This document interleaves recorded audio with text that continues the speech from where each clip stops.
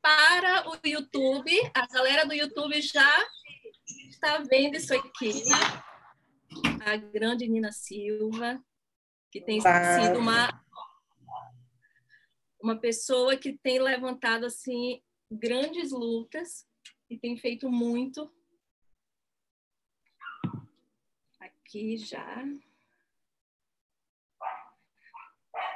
O doutor Tiago, lá de Pernambuco, dizendo que está indo lá para o YouTube. Vá lá, doutor! E responda também lá por lá o que perguntarem. O doutor Tiago de Pernambuco, que me mandou muito daqueles materiais né, que eu te falei, do, infelizmente, do que aconteceu em Pernambuco. Não contávamos com essa, né? Mais uma, Nina. E em tão pouco tempo, né? Nossa, me arrepiei toda, porque. Deixa eu diminuir aqui o meu volume aqui. Sim. E em tão pouco tempo. É isso que eu tenho dito. A gente parece que não está conseguindo mais respirar. Sim. E é, eu tá acho que é o mesmo. Tá dando eco. Eu acho que não sei se eu tiro. Eu tirei o som do Zoom. Pode tirar o som do Zoom? Pode. Só diminui, tu não, tu não desativa, ah, tá. tu só diminui. Melhorou? Qual é a voz que está com eco, Rafael? A minha ou a da Nina? Deem muito coraçãozinho aí, porque essa live precisa chegar em mais e mais pessoas. O delay acontece, tá? Nós estamos em duas plataformas e agradecer ao perito Kleber, que possibilitou tudo isso com a sua equipe, atendeu assim prontamente. Ele sim, graças a Deus, assim, e por uma causa justíssima. É a minha que tá. Deixa eu ver se eu consigo aqui. Vou colocar aqui. Meu amor. Eu coloquei o o fone. É, vou fazer isso. Me dá o fone de ouvido. Bom, gente, é... e aí, para quem está entrando, né, enquanto eu não consigo dar coração, a gente não consegue tirar essa. Eu, eu já doida pra... é, Para quem está entrando, só para explicar para o pessoal, nós estamos ao vivo no YouTube da Gigi e estamos aqui no Instagram. Tá? No Instagram da Nina Silva Perfil e da Gigi Barreto Underline. Então, compartilhem. É, quem, quem for da minha rede, que estiver entrando, eu, a Gigi, é, como ela diz, 90% atriz mexicana, 10% perita criminal. porque ela faz um trabalho muito, muito importante, que é desmistificar essa profissão, trazer leveza para assuntos que são altamente né, delicados e, e mostrar como a gente consegue lidar com as adversidades, até mesmo dentro das nossas profissões. Então, a, a Gigi ela é uma referência na área criminal, as pessoas a seguem, ela tem aí cento e cacetada de milhares de pessoas no YouTube vendo o material dela, eu me divirto, não tenho nada a ver com a, com a classe, mas eu é muito, muito bacana a forma fácil. De. E vai aprendendo, né, Nina? Sim, sim. E... e tudo é uma reeducação de tudo tudo. Eu adoro quando você fala que, você, que não, não existe CSI, gente. Esse negócio de CSI é só para a TV. Então, é exatamente isso. Né, trazer aí, humanizar. Eu acho que tem muitas profissões, por conta de muitas dores que nós passamos, não são humanizadas. Então, nós temos várias questões na questão da polícia, né, complicadíssimo no país onde nós vivemos, principalmente quando se fala de racismo. É, nós temos o, o, todo, tudo que envolve né, a, o judiciário, tudo que envolve legislação, é, é muito tabu para a gente. e não chega informação para nós civis, né, pessoas do dia a dia, e a gente confunde, não sabe o que, que é o quê. Então, eu acho muito bacana o trabalho que a gente faz, porque traz para mais perto da gente. E saber, e saber o que é o que permite Sim. cobrar. Permite cobrar e permite que tomadas de atitude sejam feitas justamente em casos como nós temos tido, tido agora. Sim, sim. Como casos que nós não temos respostas, como da Marielle, tantos outros. O da Marielle foi um que tomou repercussão nacional. E, e aqueles quantos... que não tomam, né? Exatamente. Por serem pretos, por serem pobres.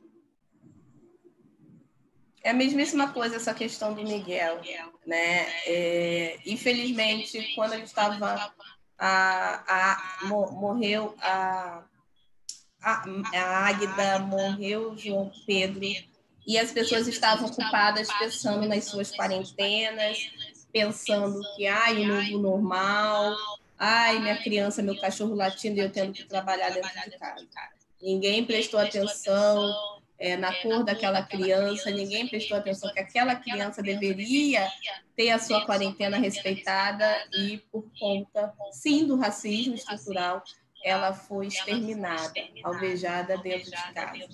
E ainda teve, e, e aí o descuidado, a, a desumanização é tão grande que tiveram a coragem de levar a criança sem falar um nada para os pais, para realmente tentar é, fugir né, da, ali da, da, da, da cena, né? E aí sim a perita entraria em cena para poder investigar. Então, eu tenho certeza é, né? que a perícia do Rio de Janeiro, como já há elementos sendo colocados, né? Que a perícia do Rio de Janeiro será muito boa, será de excelência e trará respostas para algumas das questões. É o que nós, como cidadãos, estamos esperando. Sim. E aí a gente vê o, o que aconteceu com João Pedro e as pessoas é, banalizarem. Depois vem o caso nos Estados Unidos do George Floyd e as, a sociedade estadunidense, tanto pessoas negras como pessoas não negras, reagiram de maneira diferente do que nós estamos acostumados aqui. E daí as pessoas despertam e entendem que, nossa, Black Lives Matter, né? Vidas negras importam. Nem sabia disso, só 56% da população brasileira é preta, nem tinha percebido isso, né?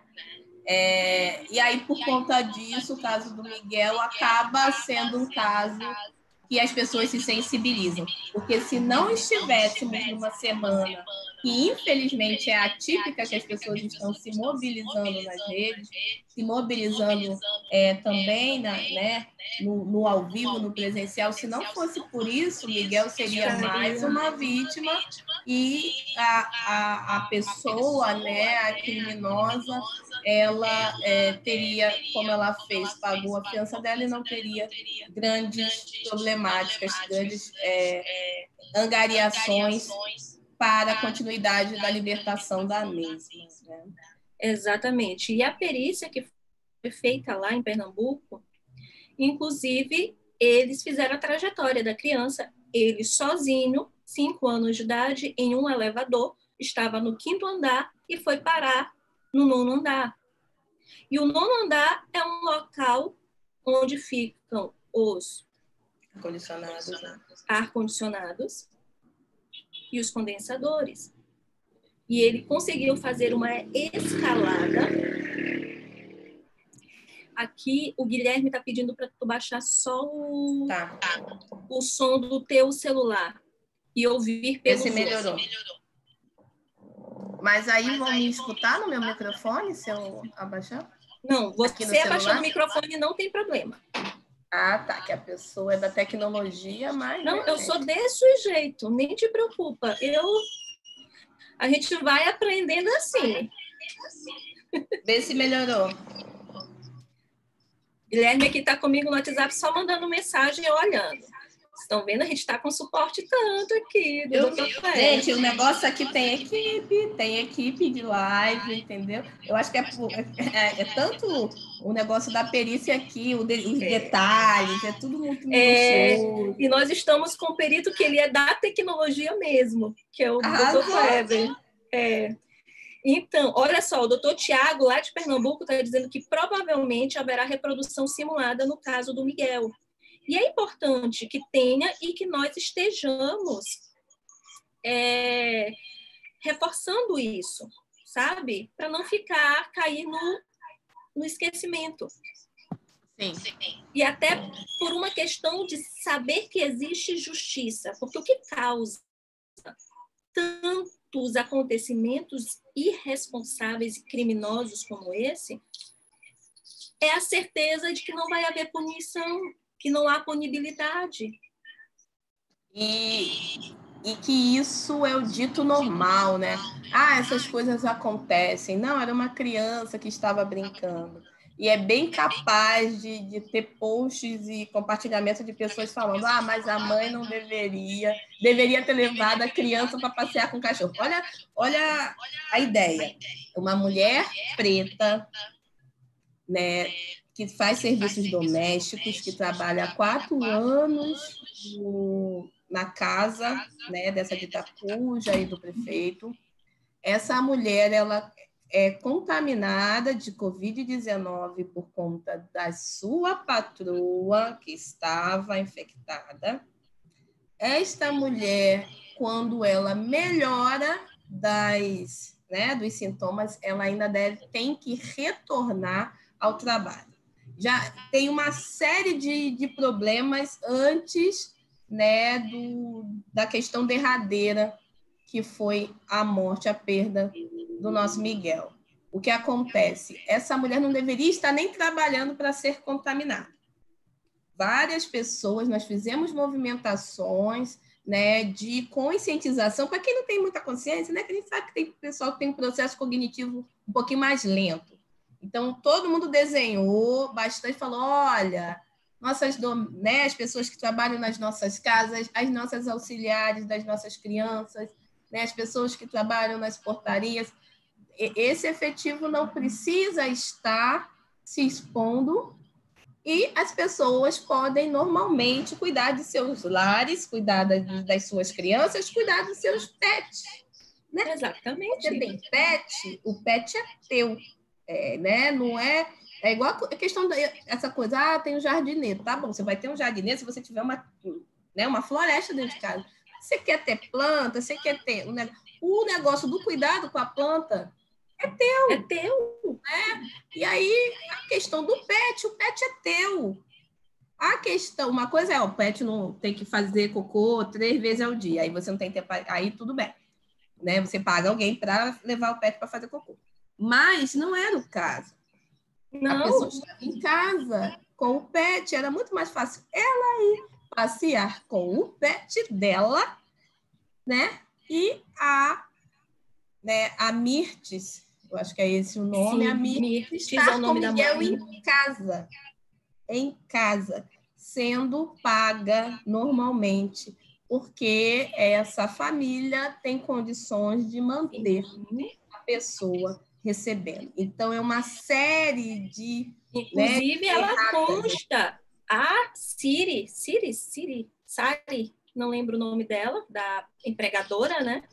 Ela ah, consta nem, nem. na lista de pagamento da cidade do qual o marido é prefeito. Sim, ela está lá enquanto na folha, né, de funcionário, Isso. Comissionada, e vocês Isso. podem ter certeza absoluta que ela não sabe, eu não preciso nem é, a gente chegar e, investigar para saber se ela sabia é. disso. E a outra certeza é que ela provavelmente não recebe o montante que esse cargo é, né, efetivo ele recebe. Então, aquele dito laranja que você pega os seus pertences, porque é isso, né? A pessoa negra no Brasil, ela é colocada num lugar de não apenas de ser a serviço de, é objeto, objetificado. Então, esta mulher é propriedade de. É assim o raciocínio. Como é propriedade de, eu faço o que eu quiser. Se eu tenho um telefone, eu faço, eu utilizo esse telefone da maneira que eu quiser. Esse telefone aqui vai ser pessoal e esse telefone aqui vai ser de trabalho. É assim que nós utilizamos os nossos os objetos que nós compramos. Mas as pessoas esquecem que a gente não está mais né, no período escravo, escravocrata, que as pessoas compravam, infelizmente, outras pessoas. Mas quando se compravam pessoas que foram sequestradas e escravizadas e trazidas para cá nessa condição, as pessoas ainda tinham a, a ideologia que ah, é um objeto porque eu comprei. E no momento atual, essa, essa, essa mística sobre propriedade do corpo negro continua. Porque esse corpo ele não é humanizado, ele não pode ser um corpo é, que, que tenha os mesmos direitos do que eu. Esse corpo ele é, ele é estigmatizado e, e carrega esses estigmas aí o estigma do é, indivíduo, cor padrão, né? Vocês sabem muito bem que frase é essa. O estigma do, da, da doméstica, então, é uma mulher é, negra. Ah, não, provavelmente é a doméstica, Isso. É, é a pessoa, é a secretária do lar. Se é um homem negro de terno, é o segurança, né?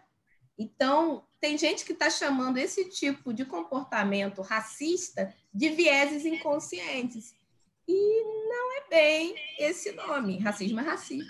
Viés inconsciente é uma outra coisa. coisa. Né? E são esses estigmas do racismo que faz com que uma patroa sinhá, porque é assim que ela se comporta, como sinhá, que faz com a, a pessoa que trabalha na sua casa como um objeto. Ah, eu tenho que pagar por, essa, por esse serviço, então eu vou tirar o dinheiro daqui que eu acho que eu sou dono, dona, né, do, do o coronelismo que nós conhecemos muito bem do norte e nordeste do país, ah, eu vou tirar o dinheiro daqui porque eu sou dono e dona do Estado e vou botar o dinheiro na minha casa, porque é tudo meu. Inclusive esse corpo negro aqui e inclusive aquele, aquela criança ali que para mim nem é o humano, não precisa de cuidado. Meu cachorro precisa de cuidado. E aí a minha serviçal ela vai é, passear com meu cachorro, mas essa criança não precisa de cuidado. Olha a perversidade. Tanto que não precisa de cuidado que entrou no elevador sozinho. Sozinho.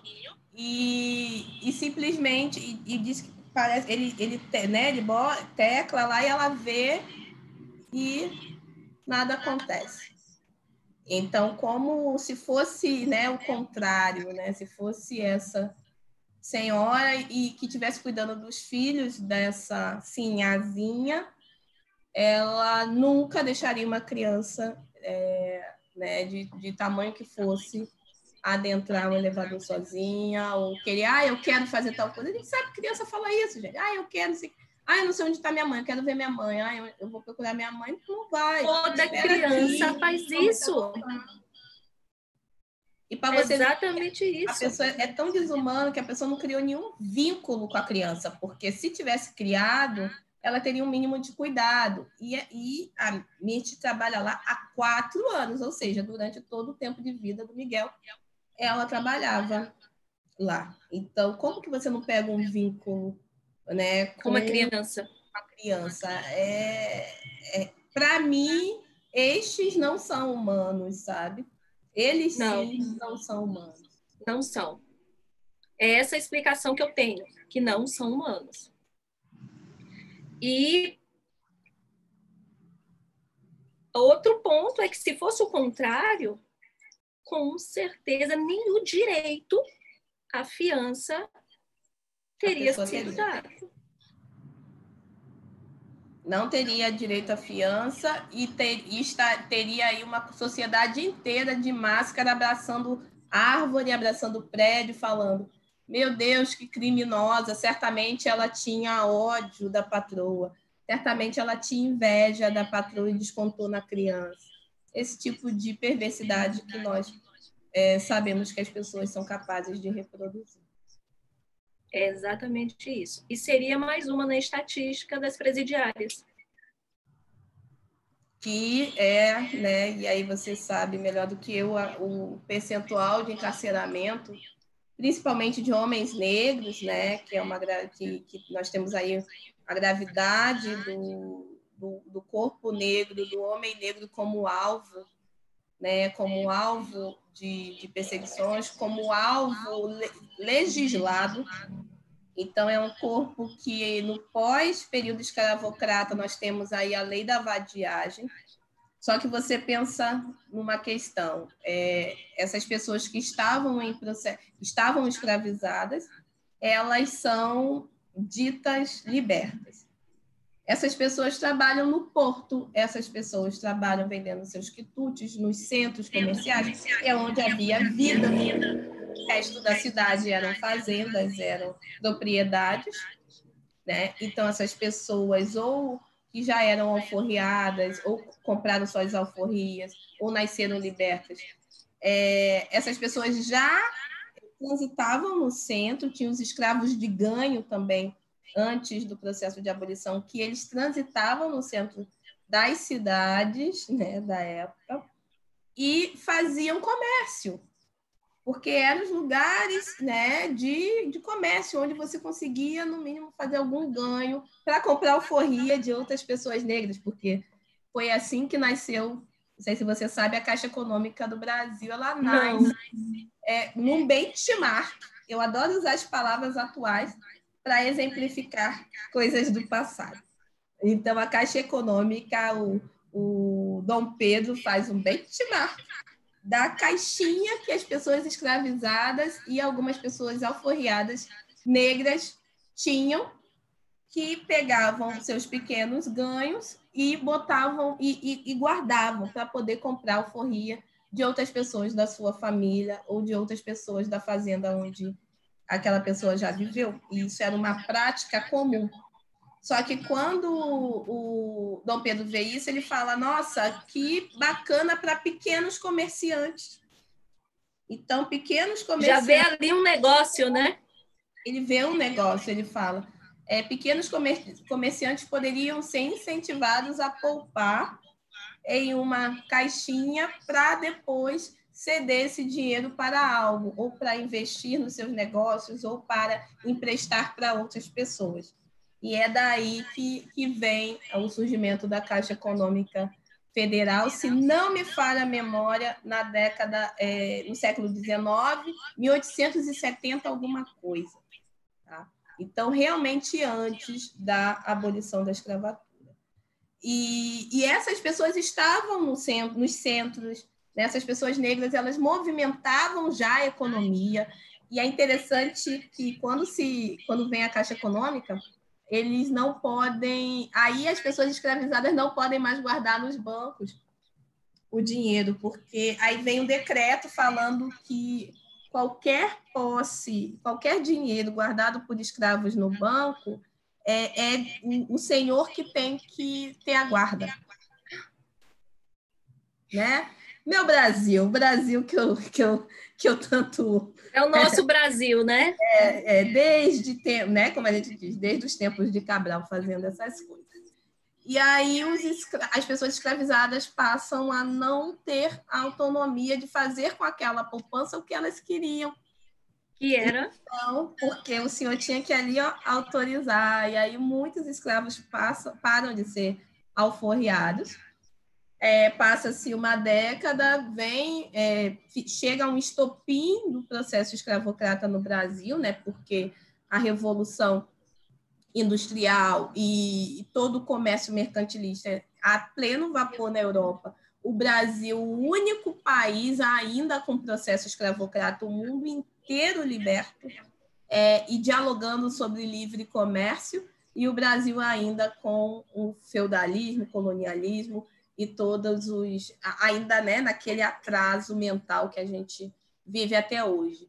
Daí falam em, as forças também das revoltas, e aí é um ponto bacana depois para a gente voltar sobre será que realmente pessoas negras no Brasil não se revoltam? As pessoas estão falando muito isso comparando com os Estados Unidos. Se e nós temos diversos casos de várias rebeliões e durante vários processos históricos e até o momento de hoje também as pessoas, mas principalmente aquelas que sofrem realmente na pele, é, sendo alvo, sendo é, realmente exterminadas, essas pessoas são as primeiras a irem às ruas e, e.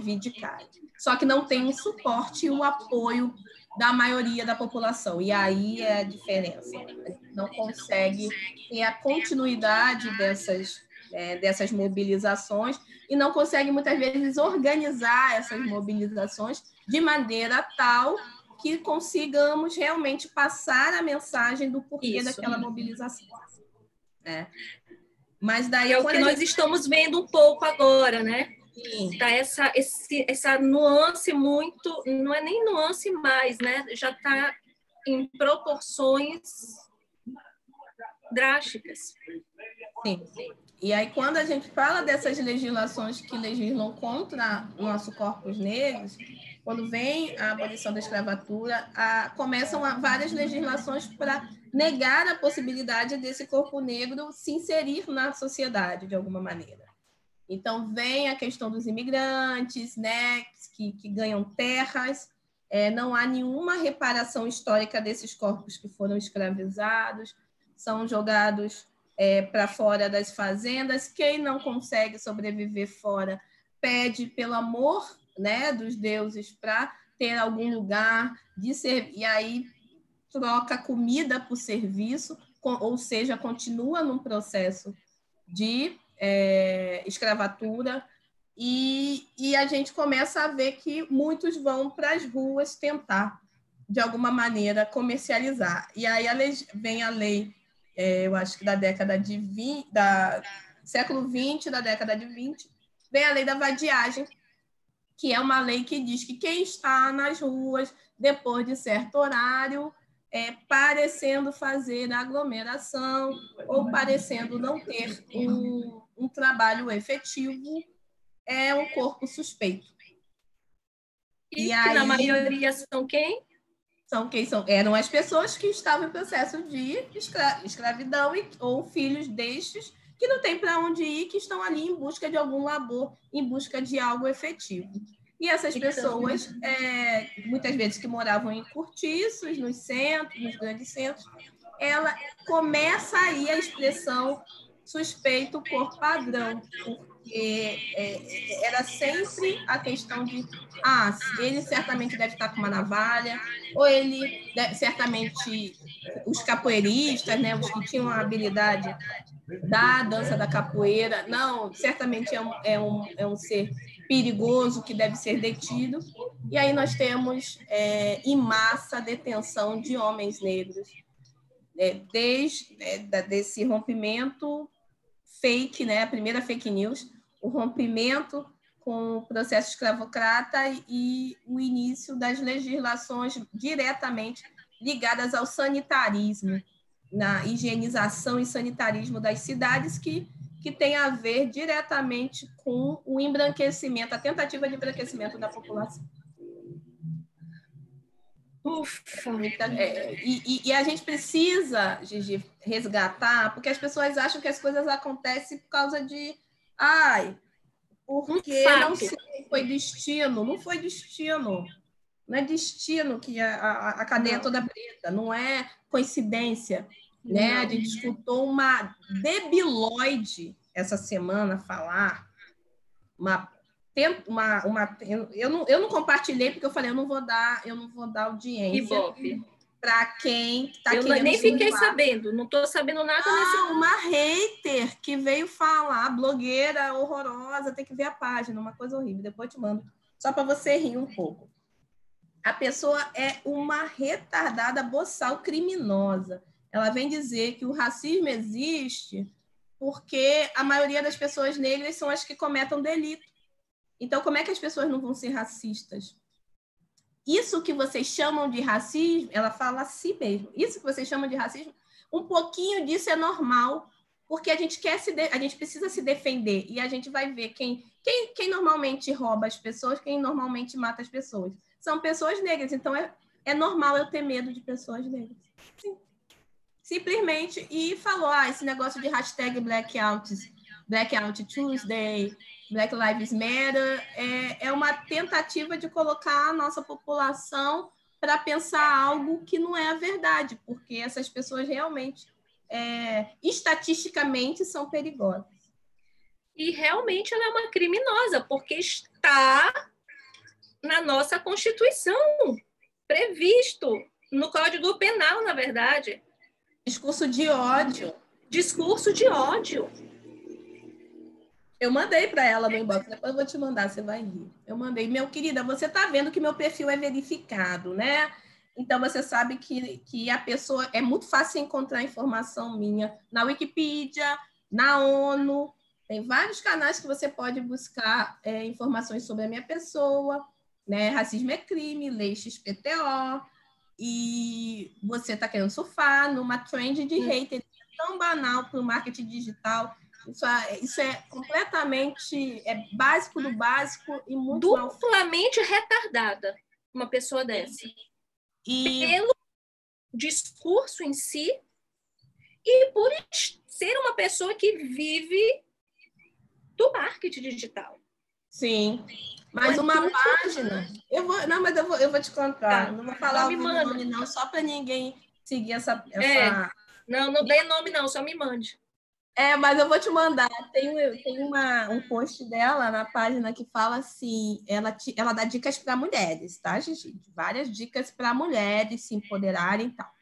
E aí tem uma pessoa que chega para ela e fala assim: Ô, Fulana, é, eu não tenho apetite sexual da mesma maneira que o meu marido. Então, muitas vezes ele quer né, ter relação sexual e eu não quero. O que fazer? Aí sabe que ela fala, ué, você faz tanta coisa que você não quer, por que, que você não abre as pernas pro teu marido? Não tem dia que você cozinha, mas mesmo sem querer cozinhar? Por que, que você não pode satisfazer o seu marido, mesmo sem te, não ter vontade? Assim, tá lá, na página. Então, uma pessoa que... Não sei o que é pior, uma pessoa dessa ou um monte de pessoas que seguem uma pessoa dessa. É, não, e tem, tem, tem 50 e poucos mil seguidores lá, a maioria mulheres, e eu acredito que as pessoas querem ouvir, né, Gigi? O, o, o problema é que as redes, é, muitas das vezes as pessoas te seguem porque elas veem algo em comum. Então, vê, nossa, e, e aí começa a admirar e falar, eu queria ser igual a Gigi. Nossa, eu queria ser comunicativa igual a Gigi, eu queria ser bonita igual a Gigi, eu queria ter a confiança que a Gigi tem olha, mas ela não tá nem aí, tem dia que ela se arruma, tem dia que ela não se arruma, ah, eu queria ter essa autoestima, é, olha as coisas que ela fala para mim, para mim aquilo que ela fala é positivo. Então as pessoas se identificam, isso é, é a gente fala muito no marketing digital, né? As, as, pessoas se identificam mais com pessoas do que com produtos. Por isso que hoje em dia muitas pessoas são produtos, né? Então é muito mais fácil vender é, marcas a partir de pessoas do que vender marcas a partir de alguma solução específica. As pessoas não criam tamanha empatia. E, e aí, pessoas como essa acabam falando asneiras e, e, e tentam é, se conectar com as pessoas a partir das inseguranças dessas pessoas. Infelizmente, as pessoas caem nessas falácias, né? Pra Mas uma psicopata. Psicopata, porque é altamente irresponsável. Nós, Manipuladora. Nós, é, sabe, cruel de muita dor, de mortes, de entendimento de como né, muita gente que não entendia antes, caindo a ficha de como a, a nossa sociedade é cruel, é, foi construída a partir de crueldades, né? constituída da maneira de, de sistêmica de, de estar a partir de privilégios de, de grupos em relação a outros grupos. E simplesmente utilizar desse momento é, é, é, muito cruel. E a gente, nós temos ainda agravantes que são agravantes políticos, né? Então, nós temos aí a sociedade também dividida a partir de pensamentos e o que a gente às vezes até acha que é ideologia política e nem é, sabe? É simplesmente é, e achar que existem só dois lados e, e mergulhar naquilo. Então, é, é, é cruel esse momento em que as pessoas precisam voltar algumas casinhas e, e tentar se conectar com letramentos que nós não tivemos antes, educações é, que nos foram tiradas da possibilidade de pensar, refletir a partir de fatos. Você botou agora aqui um ponto também que eu bato muito, voltar atrás e se reeducar. Faz uma análise de si mesmo. Eu, eu digo isso constantemente comigo. No próprio vídeo que eu fiz, eu usei um termo que na hora eu não me eu não me identifiquei, eu não me toquei do termo. Então, duas seguidoras foram lá, Gigi, eu tenho certeza que não foi o que você quis falar, mas preste atenção na frase que você usou. Eu digo, vocês têm toda a razão. Inclusive, eu vou ter que me retratar sobre esta frase. E nisso é o nosso costume, sim, é cultural. E nós precisamos acabar com isso. Não existem diferenças. Existem, mas elas não devem ser patamares de melhor ou pior. A nossa diversidade é o que nos faz únicos, é o que é a beleza. Em todo o processo, nós somos realmente diferentes em características, mas nós todos somos seres humanos.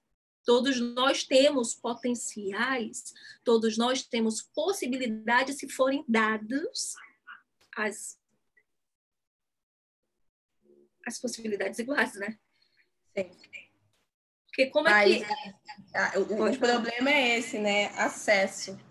E aí, por conta de, de da diversidade histórica, e aí é histórica, porque utilizaram de conceitos, né? O patriarcado ele usa do conceito de gênero para poder colocar lugar no mundo para mulheres, lugar no mundo para homens. Né? Já começa daí. O racismo ele é utilizado de as pessoas começam a ser racializadas por conta de um interesse das da expansão territorial da Europa simples e puramente em África, ninguém falava antes da, né, das explorações, das cruzadas, ninguém falava, ai, oi, eu sou negro, e você, eu também sou negro. Não existia termos. E aí, independente, negro, preto, o que seja, não existia uma racialização, porque aí sim, a África, existia o um entendimento que a raça é humana e que as pessoas são diferentes dentro dessa racialidade biológica. Isso! Todos né? nós temos uma mesma origem, e é na África. As pesquisas estão aí. Não, não tem o que, não, não tem mesmo que a pessoa se debata todinho, todinha, não tem o que, o que falar. Mas nós temos a racialização social, que é quando a expansão da Europa, que antes nem existia, então, muitas vezes, né, deve ter muita gente aqui assistindo que bate no peito do sobrenome italiano, do sobrenome espanhol, do sobrenome é, em português, ninguém bate no peito não, porque todo mundo tem o mesmo sobrenome. Mas do sobrenome alemão, Habs, Habs, Habs, Habs, e, né, entenda, a Europa nem existia. Se a gente for ver o tamanho do Brasil, nós somos quase do tamanho da Europa inteira. Entendam como que é perverso nós não sermos uma das maiores potências mundiais. E quando eu digo maiores, deveria estar, deveríamos estar no G3. No Concordo G6. com você. Não, é um G... país que não quebra, balança, mas pode ver, igual bambu. O negócio tá ali, mas flexível e depois volta. Não, Gigi, é um país que tem extensão territorial, é um país que tem pluralidade Verdade. de climas. Então, nós conseguimos cultivar dentro da agricultura, pecuária e todas as técnicas possíveis, porque temos todos os climas possíveis dentro do mesmo território. Até mesmo aqui em São Paulo, é, se você for ver, você consegue ter uma diferente. Quando você vai mais para o sul, para perto do, do Paraná, você tem um cultivo. Quando você vai mais para o norte, para perto do Mato Grosso do Sul, você tem outro cultivo completamente diferente. Eu fui aprender sobre araucária lá no Mato Grosso do Sul e a galera falando, não, mas é um cultivo do norte de São Paulo, São Paulo. que se estende para cá. Isso. Então, para a gente ver, a gente está falando só de um estado, imagine o nosso país em, em esfera continental.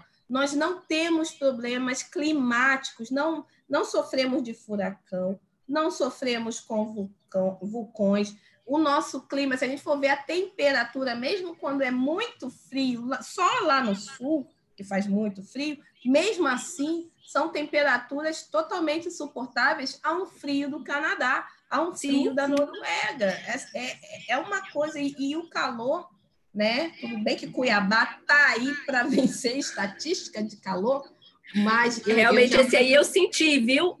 Né? Eu já fui muito a Manaus, sabia? Eu trabalhava. Eu achava no... que eu ia suportar Cuiabá, mas ganhou de Manaus. Ganhou de Manaus, sabe por quê? Eu falo isso, que eu trabalhava numa multinacional japonesa, que vocês já imaginam qual é, e ela manda no, em Manaus inteira, né?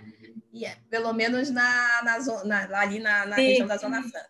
E aí eu ia muito, muito, muito, muito para Manaus, e toda vez que eu botava o pé em Manaus, gente, eu sentia vertigem. E eu sou carioca.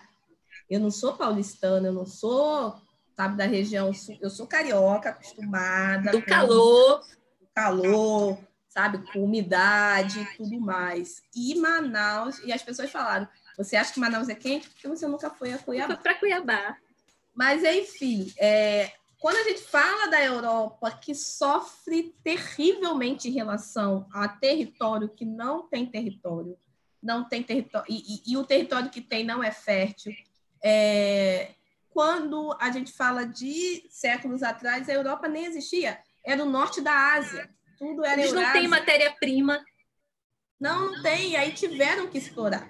Tiveram que adentrar o continente que ali estava, logo ali, né? primeiro na, com as civilizações é, na, no Egito, o nosso berço também humanitário, depois desceram pelo continente africano, que tem 54 países. 54 países. Então, a África é tão grande quanto o Brasil, que tem seus 26 estados. Então, entendam como é a importância desses territórios para outros territórios do mundo que Exatamente. Se, que, se alimentam e que usur, né, sempre usurparam das nossas riquezas por conta da nossa fertilidade e prosperidade. Então, como que esses territórios se tornam territórios não tão férteis quando a gente fala do sistema econômico que é implementado após a nossa exploração? Então, é esse, essas explorações que são feitas são feitas a partir do, da tentativa de nos diferenciar enquanto seres humanos.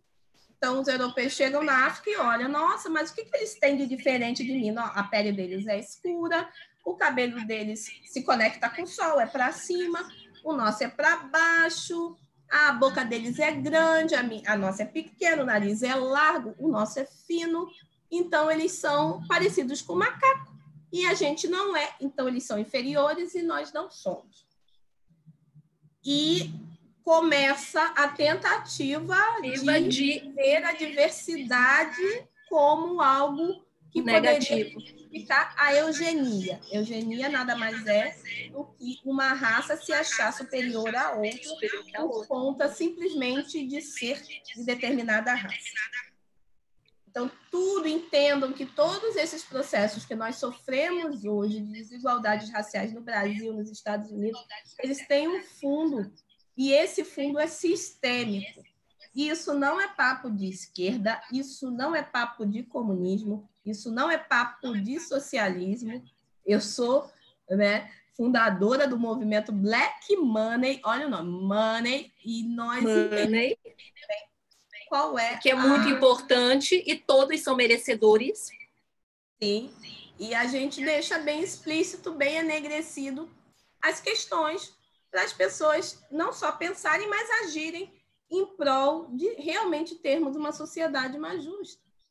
indo direto nas feridas, indo direto nos problemas e não passando pano e não achando que ah, não é bem assim. E aí quando acontece esses crimes que aconteceram, ficam, meu Deus, isso acontece, como as pessoas são mais.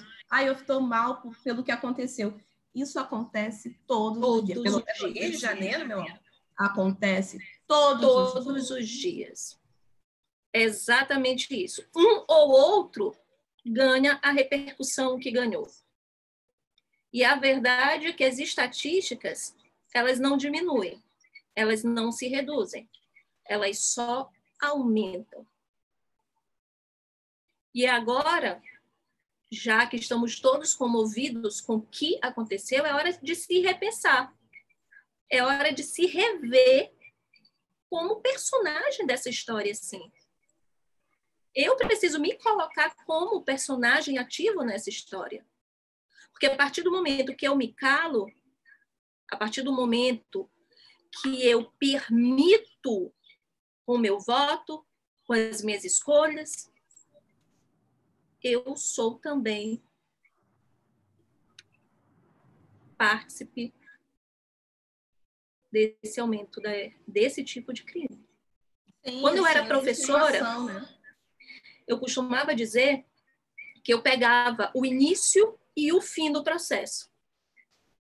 Lá, como professora do ensino fundamental maior, básico, sexto, sétimo, oitavo ano, eu tive muitos alunos que eram muito inteligentes, mas já eram aviãozinho do tráfego. Esses mesmos alunos, esses mesmos alunos que eu vi os demais professores não valorizarem, o mesmo padrão era o que eu pegava mortos aos 14, 15, 16 anos ou que mataram. Então eu dizia, você deixa de olhar para esses hoje. Amanhã, eles podem estar mortos ou matarem. E não se coloque fora da linha de culpabilidade também. Muitas das vezes essa criança, esse jovem só precisava de um incentivo de entender que existia possibilidades dentro da área de educação e com educação intencional, né, com educação direcionada, poderiam chegar a outros lugares. E como nós temos muitos, temos Sim. muitos que galgam, que alcançam. E aí vem outro outro patamar da conversa que é a que te move ainda mais. De não ver os pretos em cargos altos. Porque são tão competentes quanto. E por que não estão? Porque ninguém quer levantar da cadeirinha do privilégio, né? Ceder. Poder não se cede. Poder ou se, ou se toma ou se retoma né? Então, quando a gente fala de, de espaços, esses espaços de alta liderança, nós estamos falando com quem dita a política no mundo. Né? Não é à toa que a eleição se ganha com, banca, com banqueiro, não com bancário. Né? Eleição se ganha a partir de apoios a campanhas, a partir do que será melhor para a economia. E quando a gente fala de economia, nós estamos falando das grandes empresas. Eleição Isso. se ganha pensando se teremos investimento externo ou não. Ou não. E investimento externo vem de iniciativas privadas. E quem vai deixar uma pessoa preta num cargo de poder de botar assinatura e ditar se ali tem dinheiro ou não tem dinheiro? Essas pessoas, como assim, se elas nem pessoas são? Como assim, se elas estão aqui a serviço de e não enquanto existência. É, como que essa pessoa vai sentar à mesa comigo e falar comigo de igual para igual? No máximo, eu vou ceder um lugar, um espacinho na minha mesa para essa pessoa sentar e quando eu quiser eu deixo, eu, eu mando ela sair. Então, por isso que quando a gente fala né, no movimento Black Money sobre autonomia, nós estamos falando de apoiar nossos próprios negócios, de gerar empregabilidade, oportunidade de educação para pessoas negras a partir de negócios negros que incentivem e invistam nos nossos projetos sociais. Porque aguardar, né, aguardar que as coisas aconteçam, a gente costuma dizer que a mão que chicoteia, uma mão chicoteia, outra mão guarda o privilégio. Com que mão que vão te estender? Aguardar mais quantos anos do pós-abolição que nós temos aí? Né? 132 anos. É uma geração e meia, se eu for falar. E aí eu poderia falar de provavelmente um, um ancestral seu poderia ser muito bem dono de ancestrais meus. Olha, e, e, e falando de bisavô, não estou falando de gente muito longe na minha árvore genealógica. Né? E Sim. quando a gente fala também quanto à luta das mulheres negras ser uma luta que precisa iniciar com a fala de raça, é porque há, há 80 anos atrás, há 90 anos atrás, as mulheres estavam, as mulheres brancas estavam lutando por direito a voto. As pessoas negras não estavam nem o direito a voto tinham.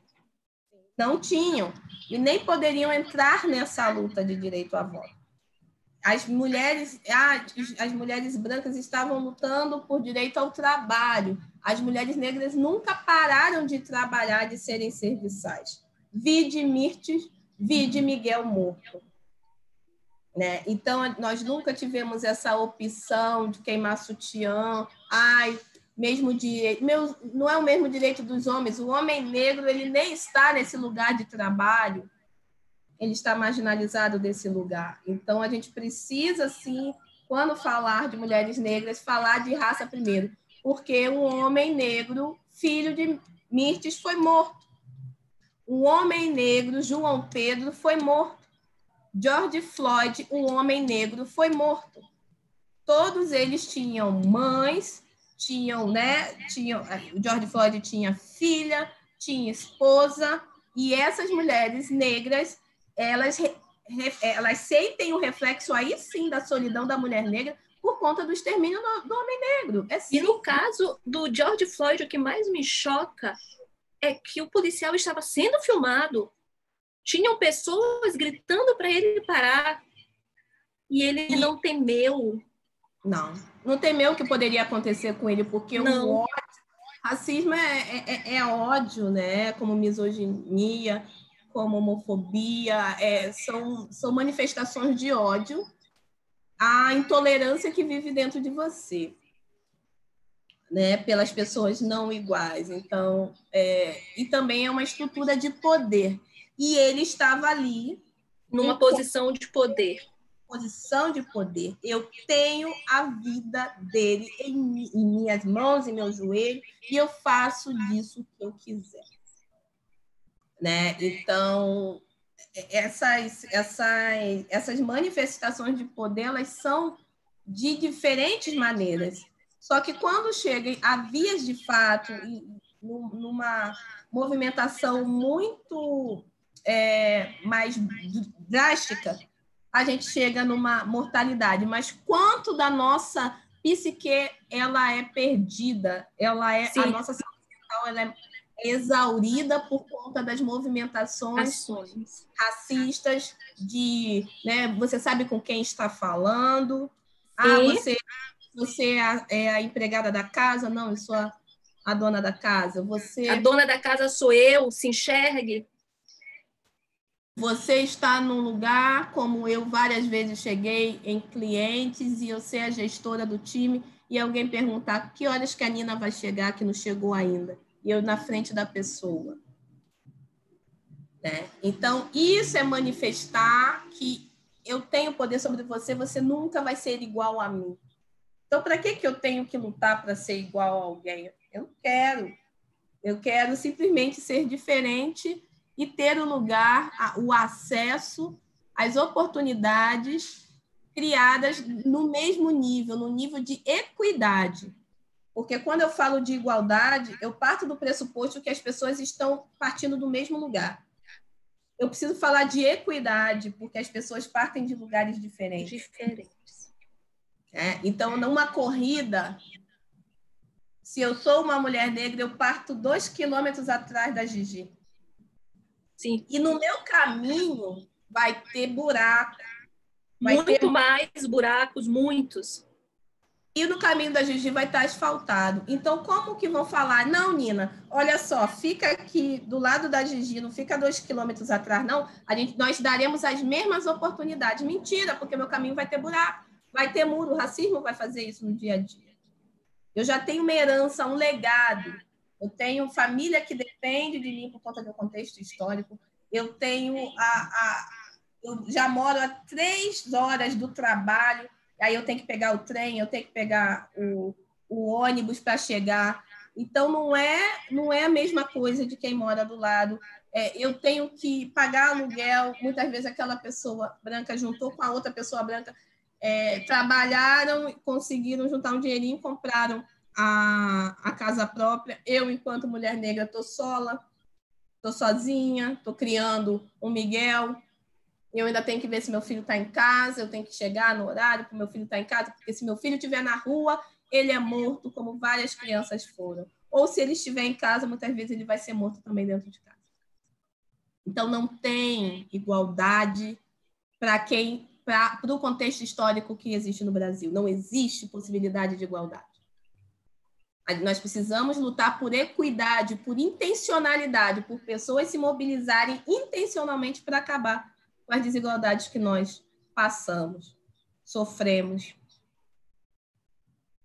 E a partir daí, sim, começar a dialogar num lugar melhor, num lugar de, de, de, né, de mais paralelo, num lugar de igual para igual. E é por isso que nós trabalhamos para a autonomia dos nossos negócios, para alavancagem, para a utilização de hackeamento com com técnicas de tecnologia, com apoio, serviços financeiros subsidiados para empreendimentos, com campanhas, né, chamar a galera para doar para o Impactando Vidas Pretas, a nossa campanha de fundo emergencial para renda básica para famílias negras.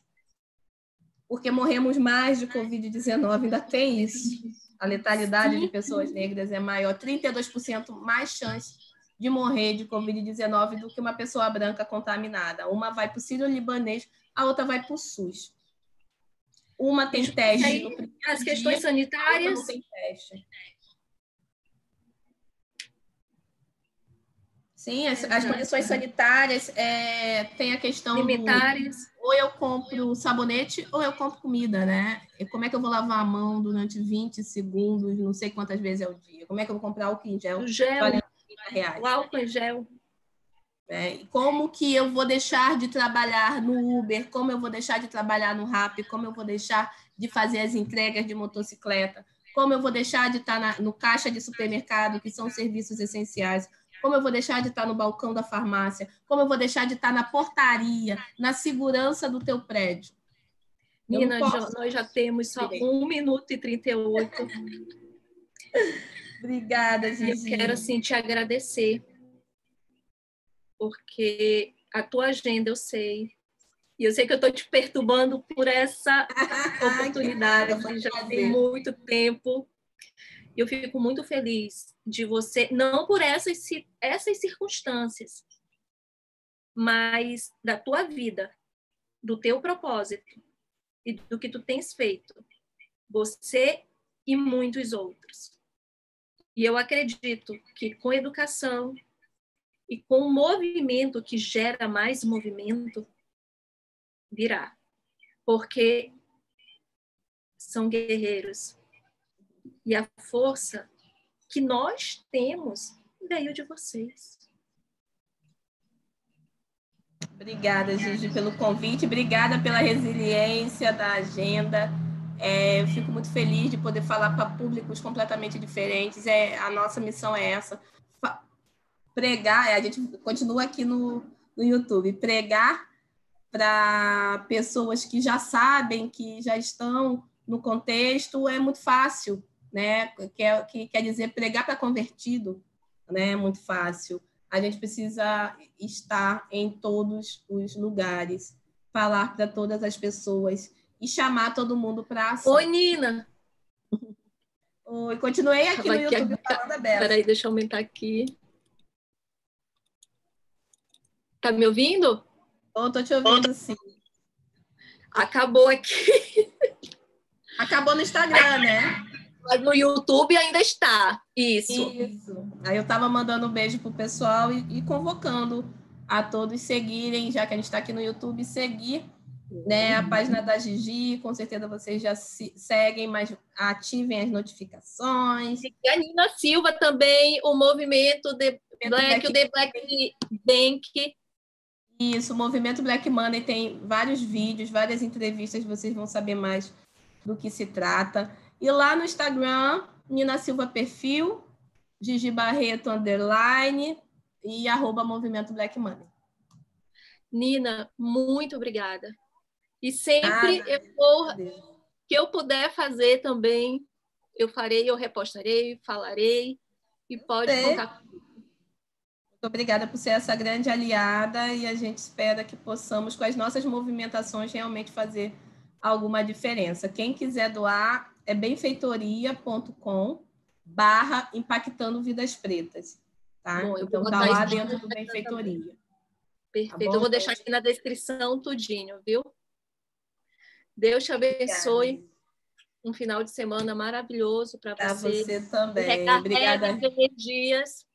Porque a oh, muito trabalho. Que tem esse negócio de recarregar. É, amanhã, não, amanhã, verdade, que eu me inscrevi eu vou estar lá assistindo amanhã você. Tem. Gente, amanhã, é. Mulheres no E-Commerce ainda tem vagas gratuito. É, Luísa Trajano, Camila Farani, Paula Pascoal, Ana Fontes, Nina Silva, Rachel Maia, muitas e muitas outras executivas da área de gestão, tecnologia e empreendedorismo, falando sobre e-commerce. Lembrem-se, a única loja que deve permanecer aberta nesse momento é o digital. Então, vamos explorar, colocar os nossos negócios, nossos projetos, as nossas ideias para fora e entender como nós mulheres estamos atuando nessa seara. Né? E os homens também estão super convidados, mas podem procurar aí mulheres no e-commerce no Simpla e que vocês vão ver completamente gratuito. Espero vocês. Minha palestra amanhã é às 17 horas. Ótimo. Muito obrigada, viu, Nina? Um beijo. Beijo, gente. Obrigada, Perito Kleber e a toda a galera do Rio Grande do Sul que, que ajudou. Esse suporte enorme. E arrasou. Depois me fala como é que faz essas coisas que eu também preciso aprender. Um beijo. Um beijo.